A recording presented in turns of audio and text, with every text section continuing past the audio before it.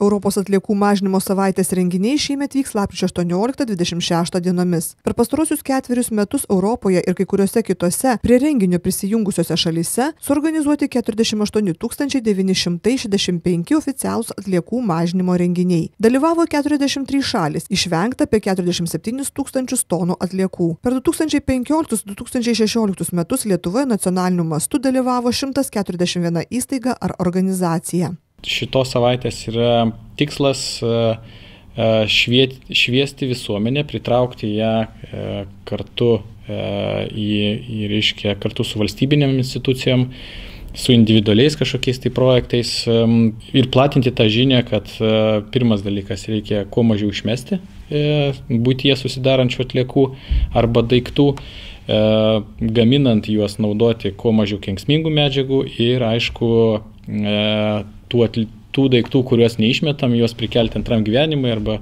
panaudoti pakartotinai arba iš jų pagaminti kažkokius tai, na, naujus daiktus. Kaip kad, sakykime, matėm iniciatyvų, kai iš marškinėlių, kuriuos jau nebenešioja, žmonės gali pasisiūti maišelį daiktams susidėti ir, ir kitų dalykų. Tai vad, iš tikrųjų Lietuvoje jau keli metai išėlės e, toksai projektas vyksta. Ir mes matom, kad e, institucijų, kurios užsirašiusios yra į šitą e, e, atliekų mažinimo savaitę, kiekvienais metais daugėja.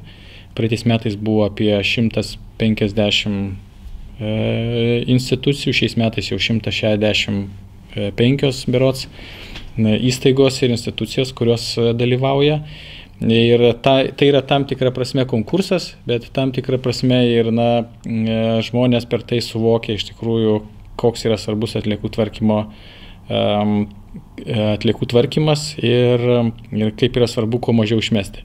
Pernai puikiai Europos atliekų mažinimo savaitės renginiuose pasirodžiusios kaimų bendruomenės biliūnai vadovė Vilma Račkauskenė sako, kad šiemet bendruomenė taip pat atkreips dėmesį į ekologinį aspektą, nežabotą vartojimą bei į menkus bendruomenės gyventojų atliekų tvarkymo ir rušiavimo įgūdžius. Bendruomenės aktyviausiai planuoja raginti gyventojus nepirkti nieko naujo, o kūrybinių užsiemimų metu mokyti naudoti turimus kalėdinius žaisliukus ir nebereikalingus daiktus prikelti antram gyvenimui, gaminant iš jų kalėdinės dovanas ir dekoracijas, dalintis ir keistis nereikalingais naujais rūbais, daiktais, išaugintomis daržovėmis.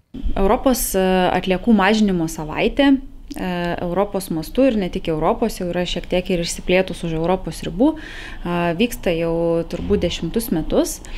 Ir Lietuva į šią savaitę jos renginius įsitraukė nuo 2015 metų. Ir nuo 2016 metų mes jau oficialiai aplinkos ministerija buvome paskirti kaip tos savaitės Lietuvoje koordinatoriai.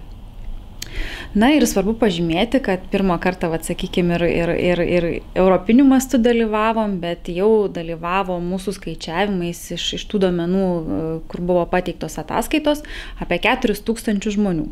Ir tik, tik, tik, tikrai ne iš Vilniaus, ne iš Kauno, ne iš kažkur, bet iš tikrųjų ir iš Vilniaus, ir iš Kauno, bet pagrindė netgi, sakyčiau, buvo e, susikoncentruota ir į mažesnės bendruomenės, į mažesnės savivaldybės, kas iš tikrųjų mus džiugina, kad reiškia informacija pasiekia e, ne tik sostinės gyventojus arba didesnių miestų gyventojus, bet ir, ir kitus aplinkinius. Svarbu pažymėti, kad šituose renginiuose dalyvavo darželiai, mokyklos, e, kaip minėjau, kaimų bendruomenės, bendruomenės, savivaldybės, mokslo institucijos, įvairios organizacijos ir iš tiesų renginiai vyravo nuo kalėdinių žaisliukų gamybos iki įvairių seminarų, konferencijų, informacinės medžiagos dalinimo rušiavimo tam tikrų įgūdžių skatinimo tose įstaigose, tai iš tiesų mus labai džiugina kad su kiekvienais metais vis daugiau ir daugiau ir įstaigų organizacijų ir pačių žmonių įsitraukia į tuos renginukus. Realiai tada gali pasigaminti iš, iš, iš daiktų, kurių jau nebenaudoja, kaip minėjau, arba kalėdinius žaisliukus, arba kažkokius kitos paskirties daiktus ir tiesiog savo pasidaryti šventę ir, ir tų renginių metu ir taipogi kažką savo ateičiai, kad neišmesti. Šiemet Lietuvoje nacionaliniu mastu savo renginius aktyviausiai pristato Šiaulių miesto ir rajono švietimo įstaigos. Dalyvių registracija tartautiniu mastu vyks iki lapkričio 12 dienos. Lietuvoje galima registruotis ir ilgiau - iki lapkričio 18 dienos. Daugiau informacijos rasite aplinkos ministerijos interneto svetainėje.